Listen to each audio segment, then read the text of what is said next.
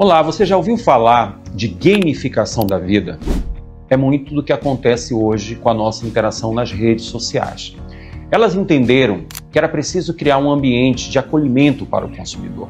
Portanto, estimulam a interação com pessoas que pensam da mesma maneira, que gostam das mesmas coisas e que, portanto, estarão propensas a interagir mais com esse consumidor.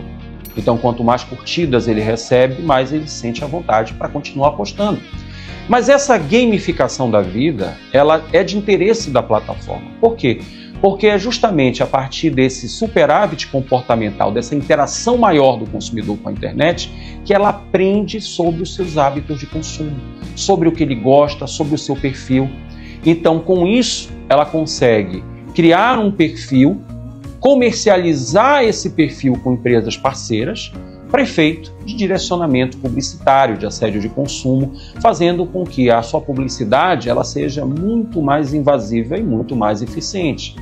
Então, não entenda essa realidade tecnológica como um ambiente inofensivo e aparentemente lúdico de lazer. Ele traz riscos e nós precisamos estar atentos para minimizar os efeitos negativos em nossa vida real.